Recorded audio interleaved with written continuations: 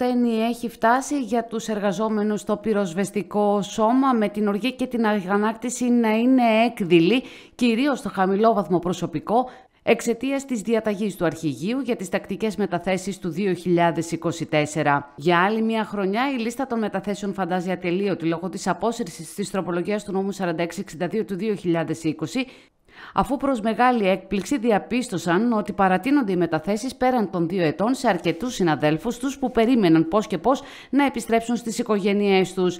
Το γεγονός αυτό αναδεικνύει η Ένωση Υπαλλήλων Πυροσβεστικού Σώματος Υπήρου Καλώντας μάλιστα την Πανελλήνια Ομοσπονδία να πάρει θέση και να οργανώσει άμεσα κινητοποιήσει, καθώς πλέον η σταγόνα που ξεχύλισε το ποτήρι την να γίνει κύμα που θα πνίξει τους εργαζόμενους στο πυροσβεστικό σώμα, όπως αναφέρεται χαρακτηριστικά στην ανακοίνωση. Στο ζήτημα το οποίο έχει ανακύψει, αναφέρθηκε μιλώντας στο Ήπειρο στη Βιέννα ο πρόεδρος της Ένωσης Πυροσβεστικού Σώματος Περιφέρειας Υπήρου, Παναγιώτης Λάμπρου.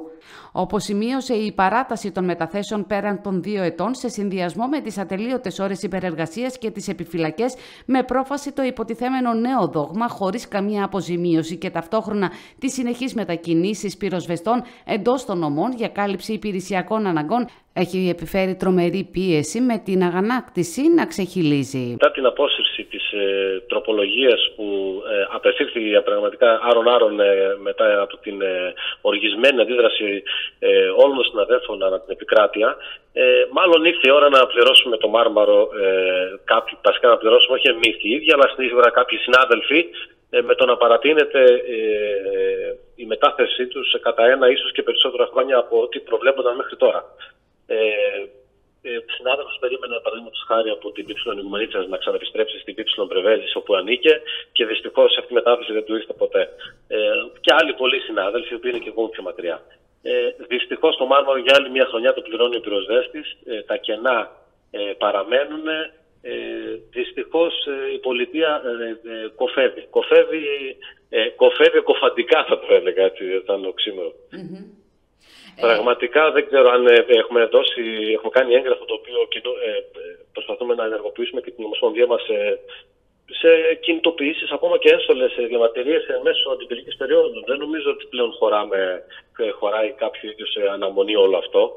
Ε, πλέον έχει φτάσει ο κόμπος στο φταίνει. Το γενικότερα το πρόβλημα ξεκίνησε από την ημέρα που ανέλαβε ε, το περιοριστικό σώμα την ε, πυρόσβεση των αεροδρομίων της Τράπορτ.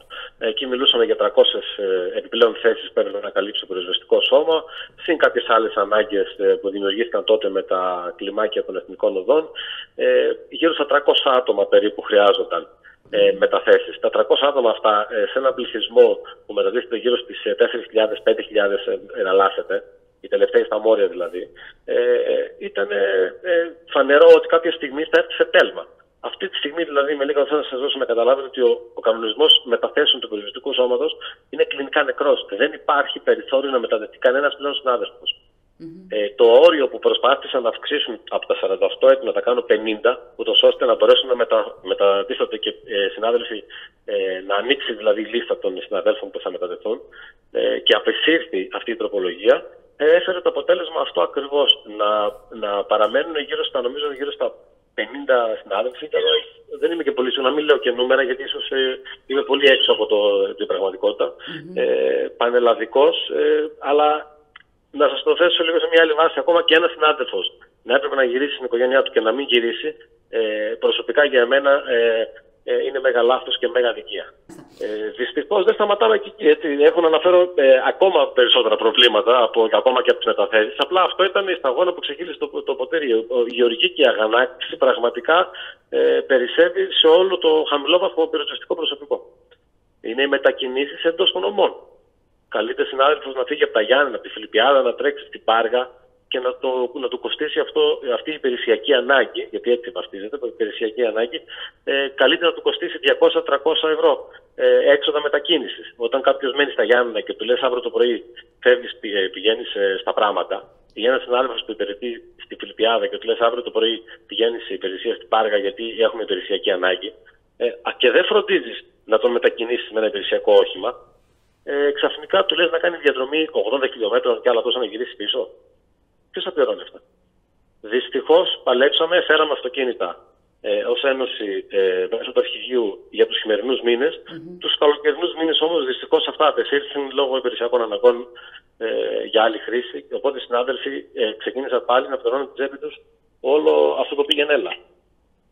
Δεν ξέρω πραγματικά ε, όλοι χειροκροτούν, όλοι επιβραβεύουν. Ε, δυστυχώς η πολιτεία είναι η μόνη που δεν επιβραβεύει. Ε, νομίζω ότι κάπου έχει ξεφύγει το πράγμα. Κάπου έχει ξεφύγει πραγματικά. Όσο για την απεύθυνση της Ένωσης Υπαλλήλων Πυροσβεστικού Σώματος Περιφέρειας Ηπείρου στην Ομοσπονδία να οργανώσει άμεσα κινητοποιήσεις, ο κ. Λάμπρος εξήγησε πως σίγουρα σε καμία περίπτωση ο κλάδος δεν επιθυμεί εν μέσω αντιπυρικής περίοδου κινητοποίησης. Οι συνθήκες όμως που έχουν διαμορφωθεί καθιστούν τον αγώνα με αυτή τη μορφή ως μονόδρομο.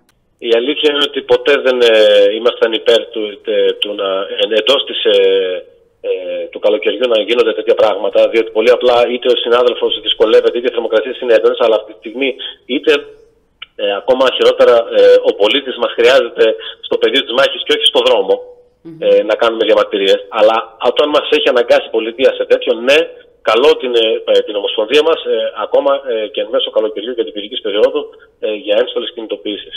πραγματικά νομίζω ότι είναι μονόδρομος.